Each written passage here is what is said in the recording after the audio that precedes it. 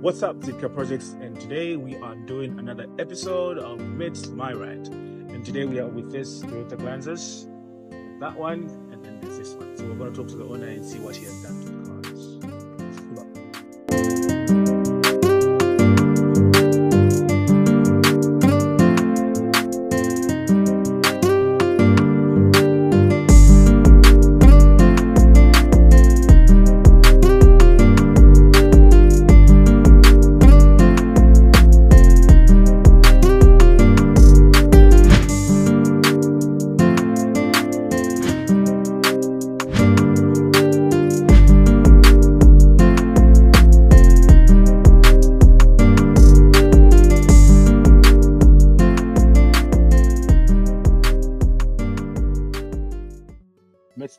man behind the build, uh, Mr.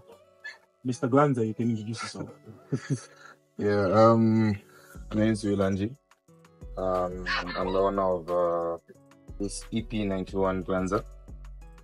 Um, I've loved them like from day one. From the first time I just like set my eyes on on this cars, uh, been a fan of them.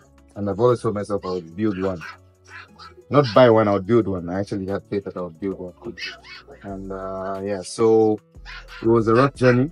It wasn't easy actually uh, knocked the engine about four times before I could actually get to where we are today. Um, my love for these cars just came in when I realized the potential that the hidden potential that they have. Most people underrate these cars because of first of all the size. Mhm. They look at the engine Yeah. and then yeah, make a fuss out of it. Yeah. So um I just had the, the courage and uh, I just accepted to know that I can actually make something better out of uh, this the small thing. How long did it take you to actually get to this point? Um, I think I built this engine like it took me two years. Yeah. First year, um, I built the engine. It took me like about three months, three four months, Mhm. just building the engine because I had to wait for certain parts to come in, and then it was in an accident, so I had to source some other parts. Okay. So um, it took me about four, three, four months to build it, Mhm. and then it took longer to fire it up because some pieces were not uh, were not there. But after I managed to fire it up, it only ran for like a week. I only drove it for a week. I didn't go far. Mhm. Then the engine just suddenly stopped uh, maintaining oil pressures and then eventually just locked, just uh, just knocked. So I had to build it again for the second time. The second build didn't even move anywhere. I just built it, and before I didn't drive off anywhere, the engine knocked again. And uh, third, third, third build, I wasn't even confident in it because it was just it was a try and error thing. Um, I had bought about ten to ten to eleven pumps, oil pumps, that is. Mhm. Uh, but I was, I was suspecting maybe it could be the oil pump or maybe the oil regulation uh, pressure valve. But then afterwards, uh, I when I broke the engine for the third build, I I discovered that um, the old engine block was cracked. Mhm. Yeah, so I had to change the engine block. I used the same cylinder head, um, same systems, uh, same shaft. I think the only thing that was badly damaged was the block. Yeah, so it reached a point where it couldn't even uh, maintain oil pressure to the point where it could raise and and this uh, sustain the shafts and the rings and all that. So it would knock immediate, like instant. You Mm. just crank it, just runs for a few seconds and then it starts knocks because the in the the block would be dry. Mhm. Yeah. So after I changed that, um, I wasn't even confident for the fourth payment as well because I just thought "Ah, I've been doing this over and over again and I don't even think it's going to work out. But anyway, let me just try it. Mhm. Uh, so when I slammed in the fourth engine build, Yeah. uh, I wasn't confident enough, but uh, I still went ahead, tried it, and it ran properly. I didn't drive it. I just started the engine. I mean, I just started the car. Mm. Let it run for some like good one week because I was just observing how it would maintain the oil pressure, if it would cut or if it would sustain itself. Mm. Surprisingly, it actually worked out perfectly. And all the modifications I have made with the valve and the, the oil pump were successful. So, yeah, so we, that's I think that's the point where I got to start now. Like adjusting everything else, putting back things in place, just to see how far it can go. And I think that was uh that's about the same time I got to the work transfer when I was done with it. So I can say I was I just got done building this engine like this. Yeah, this year that was in uh, not this year, maybe July. Yeah, July this year. Must be a nice feeling, huh? After After years. so, It's a relief. Trust me, it's a relief. Um, I really thought I would like. I thought I wouldn't. I wouldn't manage to do it. I thought I was just losing my mind now. Like I think I just have to get rid of this Mm. dream of making something like this work. Because I mean, let's face it. Most people say a is not a good engine. Uh, and I can't. It's difficult to maintain and all that stuff. But with my experience after all these knocks I've had with this engine, I'm proud to say I don't think it's a difficult. It just takes how determined that person is with that engine. Yeah. So what do you what do you have to say to us who buy projects and have them for one week and sell them? And sell them, ah, you guys should stop dreaming. should stop dreaming. You know, like I've had a bunch. I've had a bunch of cars in the space, mm. and then I just keep on buying and selling. Like, you know, like just touch a few things. no, immediately when the project when the project starts, it's it's over to me. Like I'm done. Like the fun is over. And you're done. yes, like the fun is over. So just just want to let it go.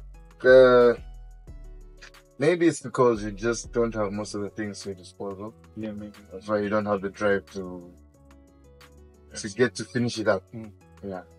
So I think I'll advise you pick a car that would suit what you have at your disposal. Mm. Yeah. And then take your time with it. Takes time because the project there's no project that takes two days unless you're like a millionaire. Mm. Then you have everything at your disposal, right? You just wake up in the morning, go online, order whatever it is that you need. Mm. Yeah. But if you're a person who's like I mean, like the way we are as youths in Lusaka or in Zambia right now, I would consider just take your time. If you're going to get a project car, you should be ready to sacrifice at least a good two, three years of not driving that vehicle. Yeah. If you want it to come out good and perfect, sacrifice those years. Because if you want a quick one, you can get a quick project car. But it's one that you'll be driving after one day or two days, you pack it because there's an oil leak or there's the engine is making funny sounds. No, you need to change the gearbox and all that stuff. But if you take your time, you'll be you'll be assured that whatever it is that you'll be putting on the vehicle is at least fully functional. Mhm. Yeah. Because you have that point where you buy a spare part, and then the try and error stage. Yeah. Yeah. You drive it, trying to test if those parts are actually genuine. Mhm. And then eventually in the process of changing, you get to find the exact good parts. Mhm. That's where, like, that's where the whole project thing goes down now. Because you can't just have a specific part and then you order there and then it's already working perfectly. And, and you put the shackles there. But then if there's no money, take your time. Mhm. No project car takes two, three days to get done. Not even a year. Yeah, I've seen people who have done like the best builds in the world. Mm. And you hear the story of how long it took for them to get done with that jet year. It took him six years. It took him 10 years. I've heard like people talk about Mm. projects like that. And you look at the car, some of us will actually say, I know it's not even much that she put in. Put in basic stuff. But the time that you put in makes that basic stuff perfect. Way So better guys, than listen, more of the story. yeah. If you want to build a car fast, money is important. money. Money is the key. Yeah. If you don't have the money, don't even expect it to be done in a week. Just wait for those three years of yours to be. So those hundred patches that you have, you work some, you have hundred patches, keep it, bro. It'll be of use one day. You'll buy one coil. I don't know how much, how much, how much a coil is for. Because, uh, it depends. Depends. Yeah, it depends, but you can get some for 350, Yeah. some for 500, depends. So yeah. Then you have to get maybe four And if you have to get a, so if you've got a V6, guys, So hapa mbele na hapa- tikazisala hapa pani yafikira hapa story hapa manji. It's either you choose one. You beat the project car or you have a girlfriend. Because or you project, the house. yeah, build the house. Because projects and women don't go together. They can't. Mm. They can't. Ndapya, mm, anyway, since akamba pambili vanhu vingasiri. All right, guys. So we're gonna take a drive, and then from there we'll, yeah, you know, uh, say our what do you call this closing remarks, and yeah, good stuff. Let's go.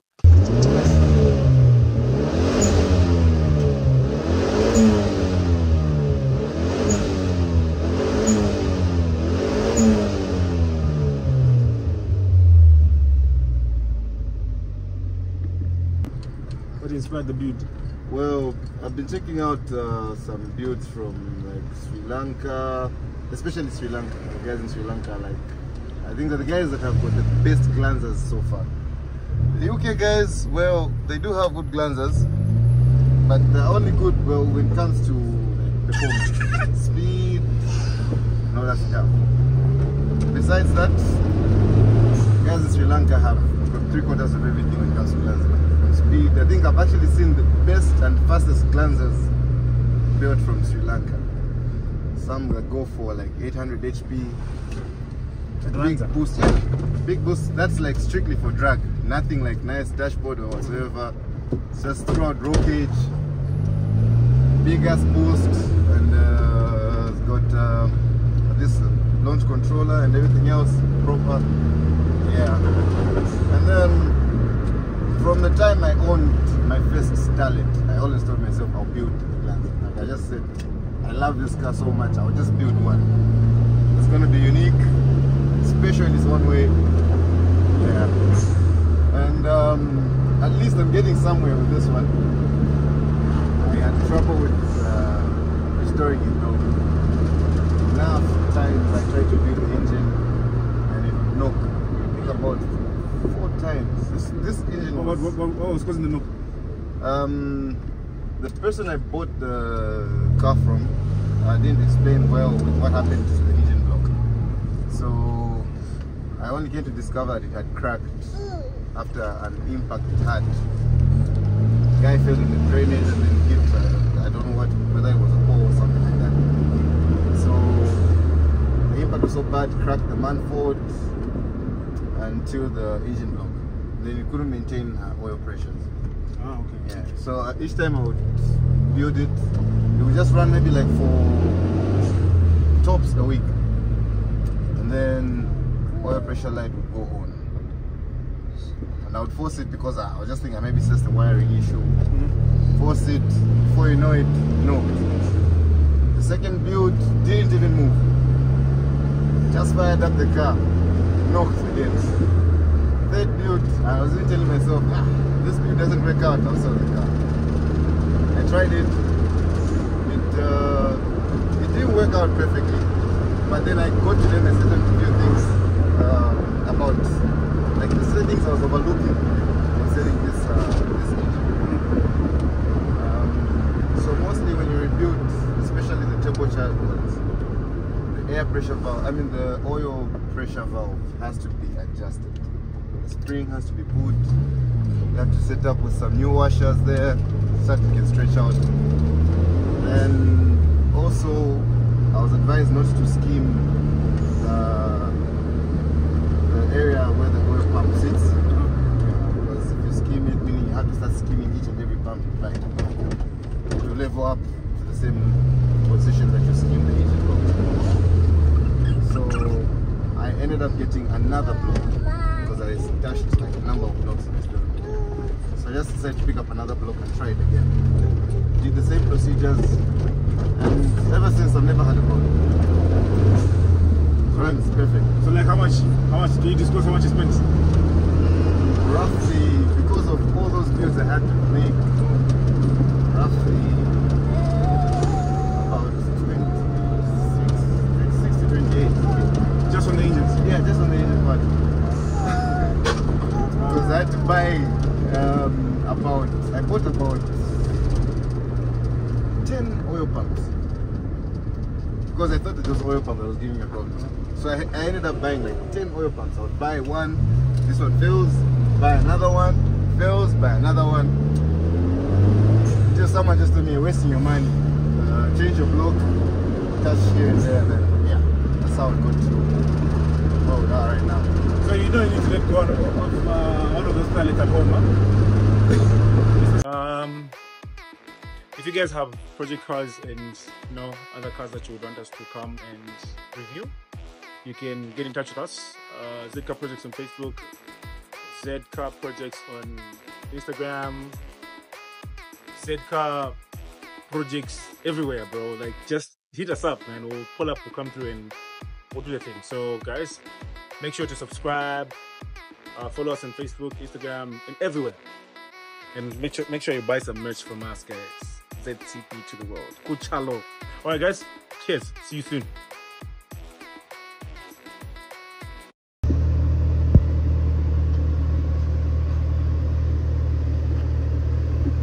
Every project car needs this kind of system, bro. it shouldn't be perfect. Ah, if it's a project car, it's perfect. Yeah, done.